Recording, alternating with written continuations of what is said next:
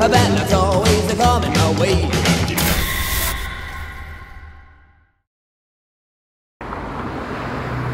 For today's group adventure, we find ourselves in the heart of Hollywood. Today we're visiting the legendary Whisky A Go Go. We're going inside and we're going to tell stories. Now, surprisingly, not many people know this, that the Whisky A Go Go is not spelled like your traditional whiskey W H I S K E Y. Supposedly, the town, the city, refused to let any business be named after an alcohol, so they removed the E. So Whisky A Go Go was also known as the whisky. That's how it kind of gets the name. We're going to talk a little bit more about the name here in just a moment, but there's something I want to point out. I love that they have this, this plaque under glass. It says Whisky A Go Go. Again, the E is gone. I don't know if you knew that but now you do, watching The Grimm Life. It says, since opening in 1964, the Whisky A Go-Go has been one of the world's most prominent and important rock and roll venues. Its stage, we're gonna go on it too, has served as the launching pad for generations of music legends, including, and not limited to, Johnny Rivers, Frank Zappa, Love, The Doors. we got a story about the, the Doors for you. Buffalo Springfield, Guns N' Roses, and Motley Crue. Look at this, standing at the band load door. I'm sure there's a band out there, a, a local band or a band that's just starting out, that just dreams about walking through this door into the Whisky A Go Go. Now here's the thing, we're gonna be sharing all kinds of different pictures that have been taken over the years, some of Blondie, of The Doors, uh, Patti Smith, I mean, you name it, we're gonna talk about it. Got some crazy stories about Guns N' Roses, Motley Crue, uh, The Doors, a really big one. I think that the cream of the crop, cream was even here, uh, has to be The Doors. But keep this in mind, for every picture that we show you, we're gonna try our best to show you where the picture was taken. But time happens, and they had to do some renovations, but it's still the same place, the Whisky. Now before we head inside the Whisky A Go-Go, I have to talk about the roof. Now trust me, when we were planning this, I asked if we could have access to the roof, and because of liability reasons, we can't go up there. But way back in the day, one of the, the funniest, most interesting stories about this place, and there's a ton of them, we're gonna get into a few of them. Axl Rose, the frontman to Guns N' Roses, when they were getting ready to sign their very first, their very first record deal, Axl Rose was nowhere to be found he was missing. And the, the suits, they were waiting for him to come and sign his name, and the rest of the band members were waiting for him to come and sign his name. But supposedly the story goes something like this. He lost his contacts. Couldn't find his contacts. And I don't know if it's because of drugs or alcohol or what. Axl, if you're watching this, maybe you can shed some light. He couldn't find his contacts, and the story goes he was afraid that somebody stole his contacts so he couldn't read the fine print of his contract. Well, they searched for him, and in search of Axl Rose, they found his contacts in Axl's actual pocket. And where they found Axl Rose was at the top of the Whisky A Go Go. He climbed up probably the fire escape at the time. There was no easy way up here. Now they have uh, an indoor ladder that goes up there, but back then, you kind of had to scale the building. I'm talking like fire escape. And he was up here and uh, they got him, they signed the contract, and the rest is history. The story goes. The thing about the Whisky A Go Go is this there are so many stories here, so many legends, iconic, and you never really know what to expect. But I will say this for all the stories that you know, all the stories that you read about, all the stories that are on the website for the whisky. There's a lot more that have never been told, that will never see the light of day. Now the fun thing about the Whisky A Go Go, you don't have to come here for a concert. They actually have happy hour. You can come here and sit in some of these really nice red booths.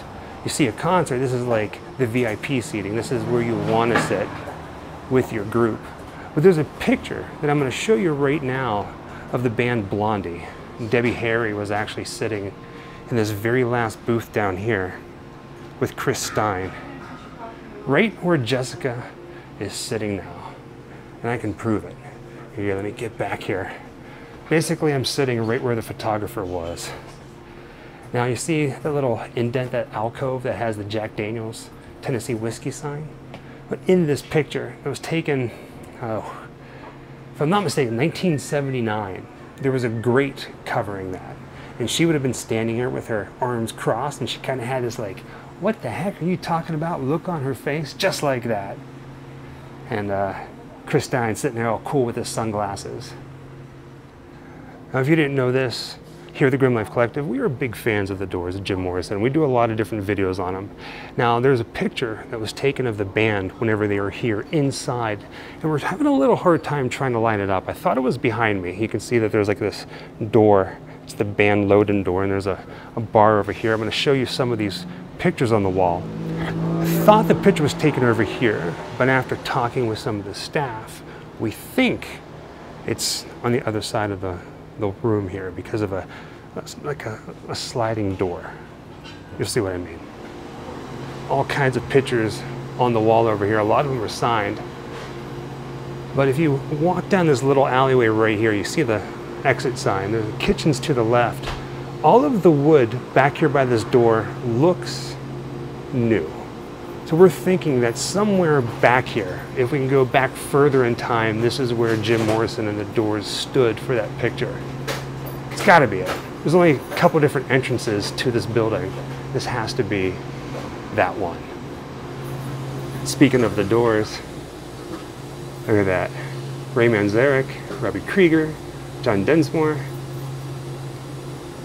Oh, this is just so cool. Let me back up a little bit so you can take it all in.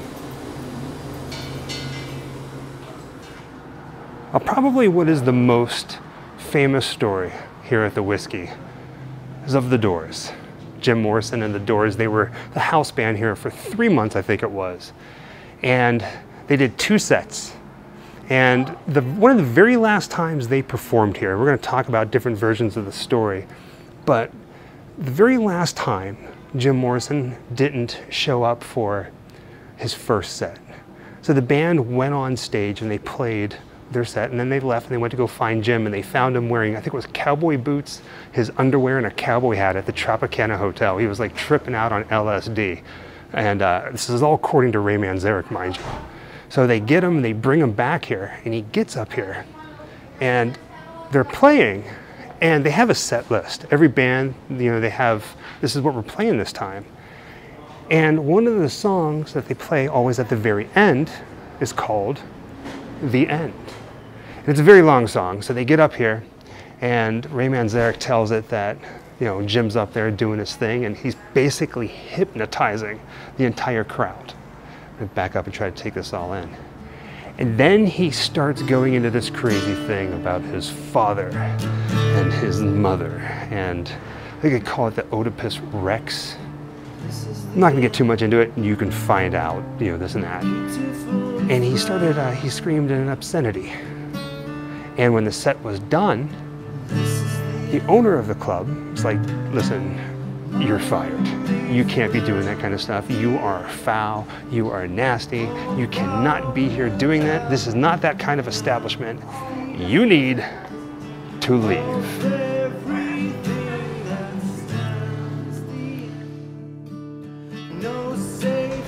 Let's just take a moment and let this sink in.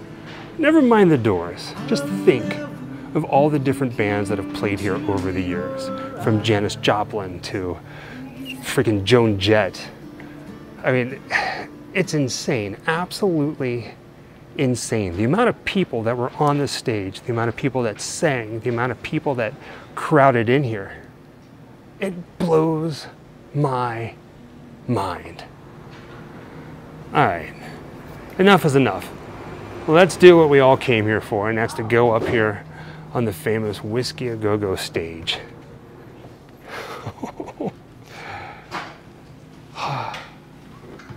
it's like tiptoeing up.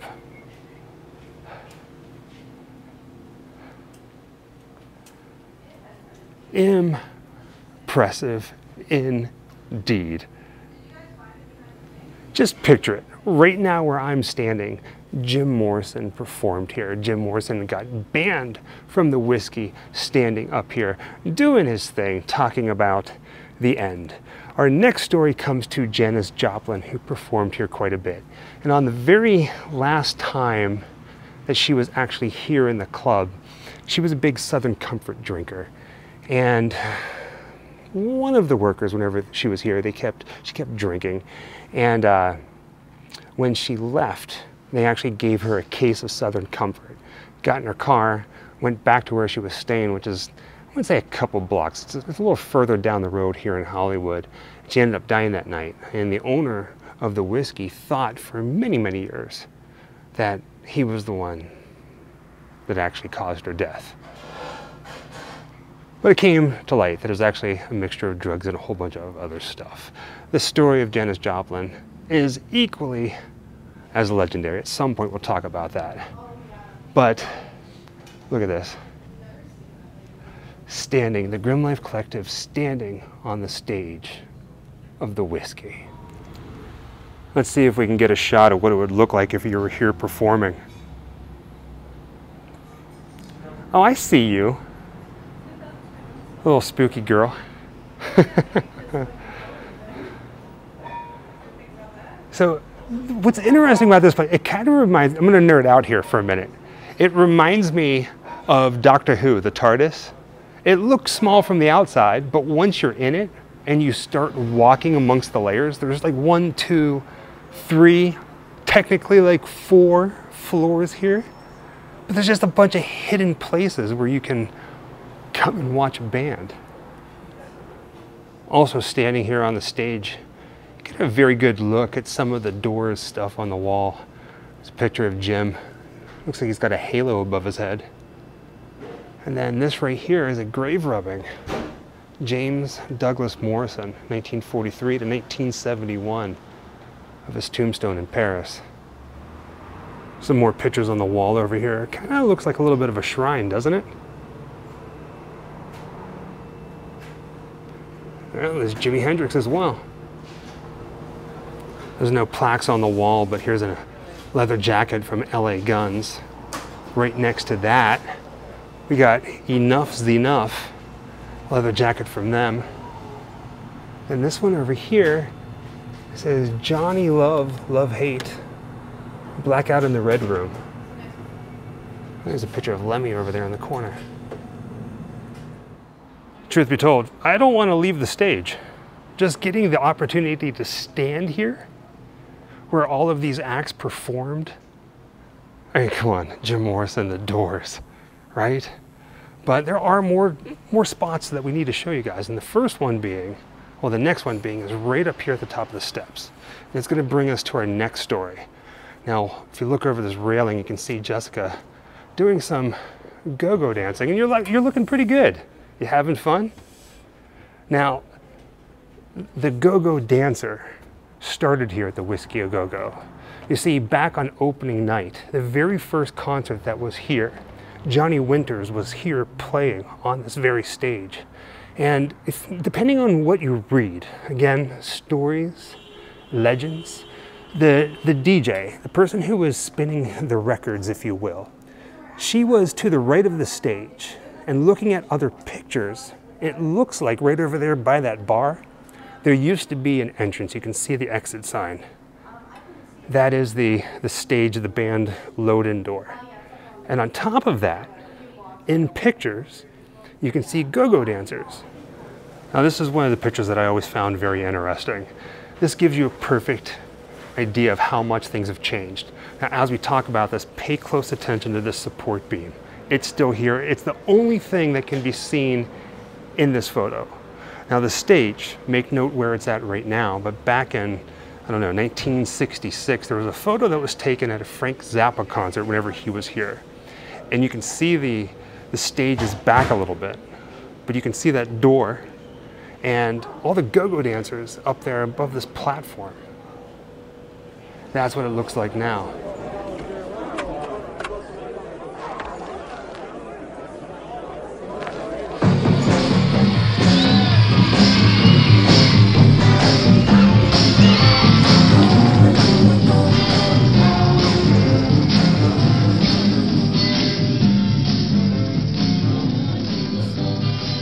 Person up there spinning records, she would play the music and then she would dance. And that is how go go dancing started. Go go dancers. Moving on, up here on the second floor, there's a bar, there's a, a balcony, there's seating.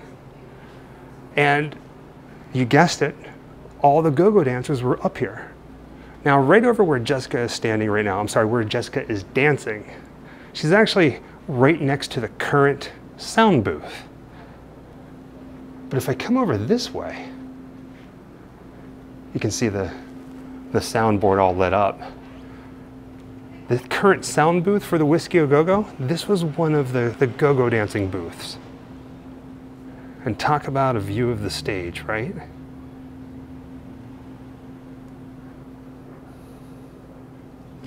And then the balcony and the booths where the girls were dancing wraps around. Jessica, you're having way too much fun with this. Now, what's crazy about this, if you go way back and you look at old pictures of the whisky, at, at the very beginning, it looks like this balcony probably wasn't even here. Instead, it was almost like stadium seating. And the, the floor, the dance floor, it looks, what is that, linoleum? But back then it looked like it was wooden. I'm to see if I can find it, but there's an interview where there's a woman who was, who was one of the dancers, and she was talking about how dancing here at the Whisky was very free, and they called it like freestyle dancing, and it was something different. And they, everybody can do it here, and they can stand apart from each other and just kind of go wild and have fun. Very often in the old-fashioned style of dancing, we uh, we may not feel particularly in a romantic mood, and yet very often our partner would grab us and dance very close and hold us so closely. And I like this because you know we can completely keep at arm's length and dance however we please, and uh, I really like that.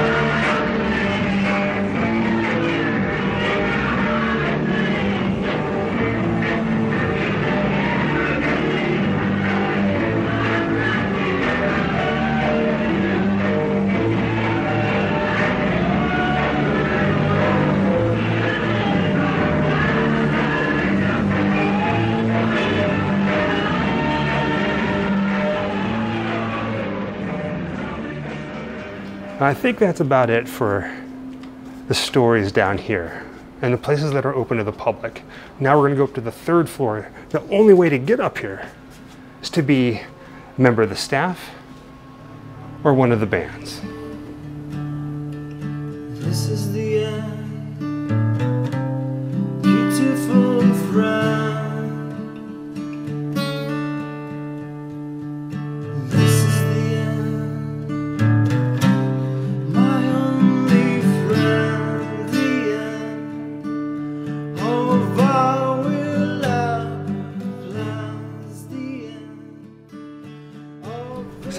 We're having a special look at some of the green rooms. There's three up here, up here on the third floor. And the first one we're going to go to is this one right here. This is for the main acts, the headliners. So anybody who was here, like, I don't know, The Doors, Jimi Hendrix, Blondie, there's actually pictures of Blondie in this room. And of course, just like everything else, I mean, history, you got to preserve everything. So things have changed quite a bit. But can you imagine? Like right now, we are standing where a lot of our favorite musicians, like legendary musicians, would come here and they would hang out up here watching something on the VHS that's right behind you, right before they're about to perform. This is I have This is- goosebumps. right? I got goosebumps. This, is, this is cool. When we walked in, you might have noticed this off in the distance. I'm going to show it to you right now. This place, the entire third floor, there are signatures all over the wall of different people that have played here, different bands. Every room is filled. We're going to we're to point out a few of them. At some point before we leave, we're going to have to sign it ourselves. The Grimm Life Collective and Michael and Jessica inside the Whisky A Go Go for eternity. Well, until they paint it, and then the next generation comes in, the next band. I love it. Th- This is really cool. Talk about Hollywood history, right? Hollywood and music history. even though they paint the rooms and things change, it looks like they're keeping some of the signatures original. You know, they paint around it, they kind of frame it like Aaron Carter right here. This framed portion of the wall, can't read it, but it does say Ratt. And then up here in the corner, Stryper and possessed. Oh, that's kind of comical. This kind of caught my eye. It's an art piece, a print, Crazy Times, 2022. You can see Sammy Hagar's signature right there. And here's a picture of Sammy Hagar standing there in shorts. It says Crazy Times. But if you follow YouTube, doesn't he kind of look like Casey Neistat in this picture? I can see that. Oh, baby ghoul. Inside the Whisky A Go Go, what's going through your mind? Like, what are you feeling right now? I mean, we've been to some pretty legendary, iconic places, but nothing like this. It's like living history. It's like watching a monster sleep because it's so quiet, and it's so still, and you know that at any moment the shoe's gonna drop, right? Like the the amps are gonna turn on, the lights are gonna turn on, the crowds will be roaring, and the band will be so loud, and you'll be just electric. Can you feel the electricity? I can, yeah, I can. It's awesome. So if that was the headlining room, this is opening act room. One of them, there's two for the opening acts. And sometimes they would have like five, six, seven bands and they all have to share this. I guess it's it's part of the experience, right? Can you imagine just being in here? Hey, again, the walls are just covered.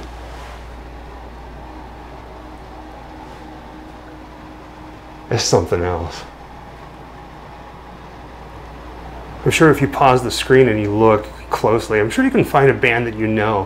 What's interesting about this, not only have they painted the walls over time, but now there is like this protective plywood that's up, so they can just kind of put it up and take it down whenever they need and just kind of preserve history.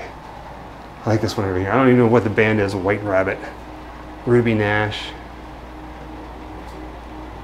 And now for the very last green room, and it's probably the smallest of them all. But don't let that fool you because history is history, and this place is definitely filled with it.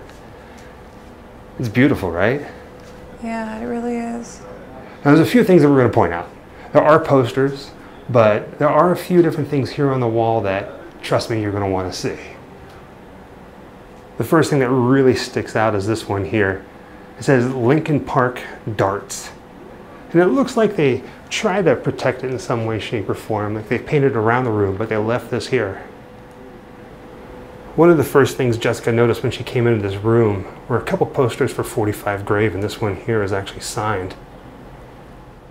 Inside these rooms, these green rooms, so many different pictures can be found online. So if you do like research of the Whisky a Go Go here on Sunset Boulevard and bands like Blondie and Iggy Pop and Patti Smith, all were taken inside these rooms.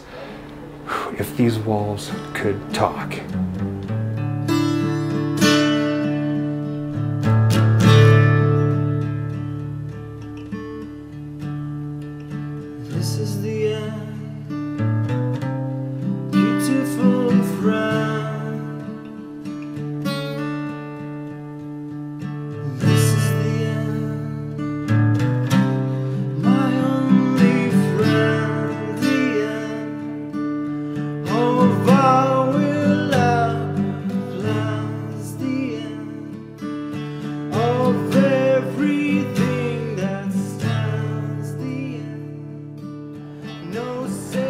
Feel free to stop this video at any time and just read the signatures and the band names, especially that Jack Daniel sign, and start it up whenever you're ready.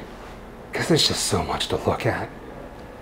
Never in a million years did I ever think I'd get a chance, an opportunity to do something like this, let alone live in Hollywood, but to be able to walk through the Whisky a Go Go, the whisky, and sign the Grimm Life Collective. And I think because there's movies over here, we're gonna do it right here.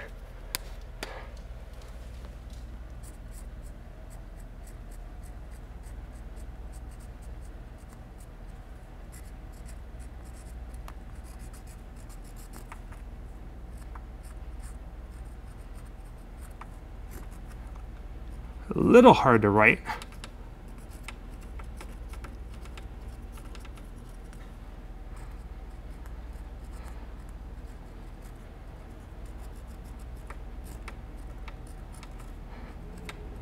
Now, I would think that unless they're going to move the VHS tapes, maybe this one will be here for quite some time.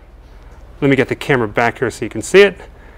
There it is. It looks like some sort of haunting scratch on the wall. Perfect. If you are a band and you're coming here to the Whisky A Go Go and you're in this room and you see this, take a picture and tag us. It'd be fun, right? With that being said, from the Whisky here in Hollywood, thank you for joining us on another grim adventure. This time, oh, an extra special happy Halloween. Wherever I come, bad luck is coming my way. Wherever I go, hard luck is there to stay. Good luck never stays a day. Bad luck's always coming my way.